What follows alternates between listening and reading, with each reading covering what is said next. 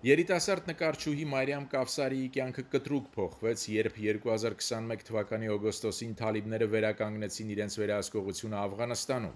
Այն ժամանակ 12-րդ դասարանի աշակերտուհուն ուղակի արգելեցին շարունակել կրթությունը, ինչի պատճառով նրա ընտանիքը Աфghanստանից գաղթեց Իսլամաբադ, հարևան Պակիստան։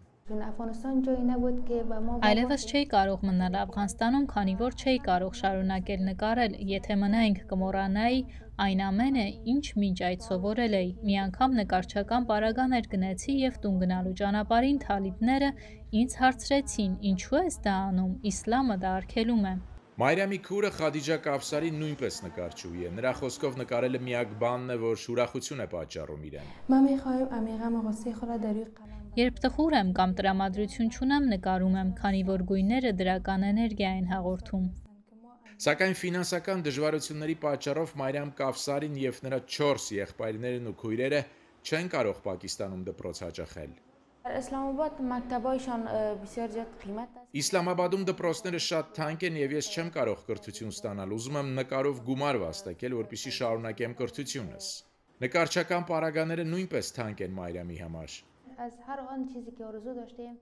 Հույսներս կորցրել ենք, ապրում ենք ծանր պայմաններում, որպեսզի կարողանաս հղկել նկարչական հմտություններդ ու կատարելագործվել, բարվոք վիճակ է հարկավոր։ ՄԱԿ-ի տվյալների համաձայն թալիբների կողմից Աфghanստանում իշխանությունը զավթելուց հետո 600 հազար աфghanցիներ հեռացել են Պակիստան։ Նրանց մեծ մասին, այդ թվում Կավսարիի ընտանիքին, այնտեղ անորոշ ապագա է սպասվում։ Ամերիկայի ձայն, Վաշինգտոն